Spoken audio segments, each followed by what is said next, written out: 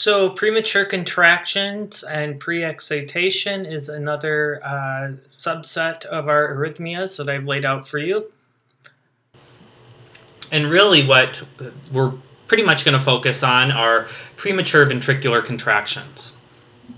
So what a premature ventricular contraction is, so go back to think about what normal is first. So normal is you get SA node, conducts down through your atria, causes atrial depolarization, which causes your P wave, uh, and then you get your AV stimulation, and then that causes ventricular depolarization as it moves down the bundle branches, and uh, that causes your QRS wave, and then your ventricles repolarize, and that causes your T wave. Now, when you have a PVC, what happens is you get kind of a little twitch in your ventricle where you're having normal sinus rhythm, everything's going along fine, but then all of a sudden you get this little fiber that decides that it's going to fire and it causes a an entire contraction of the ventricle. Now you might think this sounds like something else, and it does. This sounds like V-tach. Now, what PVCs and V-tach have in common is that there's some little point in the ventricle that's causing the ventricle to contract. So it's not the SA node, it's not in in between the SA node and the AV node, so it's not a supraventricular tachycardia, and it's not the AV node as it should be. So it's it's in the ventricle. So that's what it has in common with V-tach. What it has separate from V-tach is that V-tach is self-stimulating and it happens over and over and over and over and over again. So you're getting constant ventricular contraction, uh, constant ventricular stimulation. PVCs are just little isolated events. They may be frequent, but they're isolated events. They're not repetitive. So you'll get you'll get QRS, uh, you'll get P waves and QRS waves in normal sinus rhythm in between the PVCs. And that's what sets it apart from V-tach. But what is in common with V-tach is that there's some little uh, rogue fiber that's causing ventricular stimulation in the ventricle. So these can be seen in perfectly normal patients, and it can be seen frequently in post-MI patients.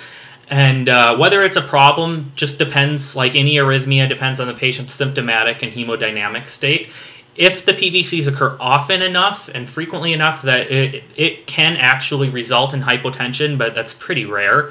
Um, what you will usually see is a patient having PVCs uh, as a result of digoxin toxicity. That's relatively common. So, um, anytime you have a patient with frequent PVCs, you should look for uh, any kind of laboratory anomalies, any kind of electrolyte anomalies, look into the patient's medications, maybe even consult pharmacology, because a lot of drugs can cause PVCs. Uh, symptomatically, the patients will describe PVCs as a palpitation, but it won't be like V-tach where you're having palpitation, palpitation, palpitation sustained. You just get this all of a sudden point where you feel, oh, I just felt my heart jump and then you're fine. That's characteristic of PVCs because it's just an isolated event. So this is what a PVC looks like. You're trotting along through normal sinus rhythm, and then all of a sudden you have this weird looking QRS wave, some kind of contraction going on here, some kind of electrical activity. And it is indeed a ventricular contraction, but it's not a normal one because it's caused from within the ventricle. And then after that, you just go right on to your normal sinus rhythm. This can be normal and fine in a patient, and we don't need to treat this. But if we see them frequently, now this patient, it's happening more, then we may need to look in to something that might be causing this. We don't necessarily need to treat premature ventricular contraction itself. We would want to treat the underlying cause as to why this is happening. So here's another one. And what we do is we define premature ventricular contractions when they happen uh, as how often they happen. So, for instance, if a patient has frequent pre, uh, premature ventricular contractions. They have regular PVCs. What we do is we look at how often the PVCs are happening. So, okay, here's a QRS, QRS, QRS, and then the fourth one is a PVC. So this is called quadrigeminy. Q U A D R I G E M I N Y. Quadrigeminy.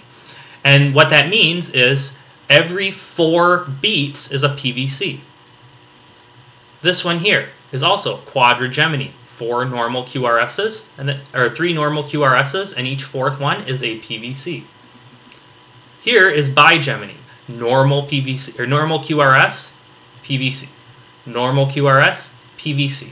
So you could see that this might be a problem because you're getting these abnormal uh, premature ventricular contractions. This is more severe. Bigeminy is more severe than trigeminy, which is more severe than quadrigeminy, which is more severe than uh, just random PVCs. This is uh, this would be trigeminy here. So you're seeing every third is a PVC. So you can also see multifocal PVCs. So here you've got PVCs occurring in different kinds of shapes. So unlike this one here, where they all look the same, all the PVCs look the same, here they are appearing in different shapes. And so what that's what that means is that you've got different parts of the ventricle causing PVCs. You've got multifocal, so what that means is multiple places. Focal means place. Multiple places causing PVCs. So you're getting different kinds, different places causing the PVCs, which cause these different uh, these different uh, appearances. So the treatment is going to be individualized. So if the patient is simply just having occasional PVCs, or if they're even having regular, somewhat regular PVCs, we're going to observe them. If they're having occasional PVCs and they're hooked up to an EKG and they're just occasional once in a while, you know, maybe you see two of them in a day, don't worry about it. Don't need to do anything. If they're having trigeminy, uh, then you might want to go in and look into that. But you don't necessarily need to treat them if they're not having symptoms.